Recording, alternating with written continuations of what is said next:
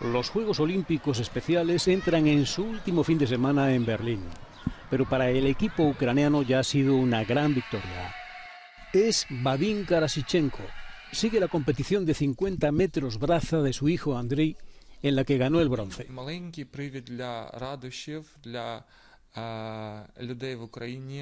Е, вони бачать наш український дух, і вони бачать, що е, ми не здаємося,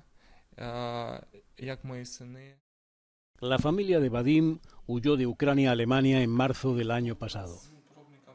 Una de las primeras cosas que hizo Vadim en Alemania fue buscar un lugar para que sus hijos entrenaran, ya que asegura la natación es fundamental en sus vidas. The Special Olympics was created in 1968. Today, there's thousands of athletes with a lot of energy coming here with an expected 300,000 visitors. The aim to support inclusion for those with intellectual disabilities.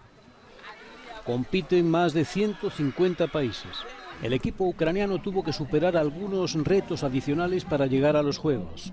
Algunas instalaciones deportivas resultaron dañadas por la guerra, lo que dificultó los entrenamientos.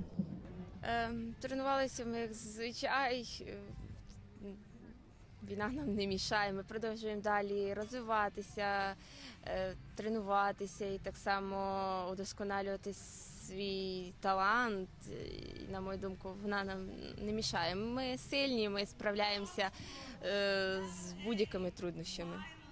Vadim asegura que si otros se inspiran en la victoria de su hijo, todo habrá merecido la pena.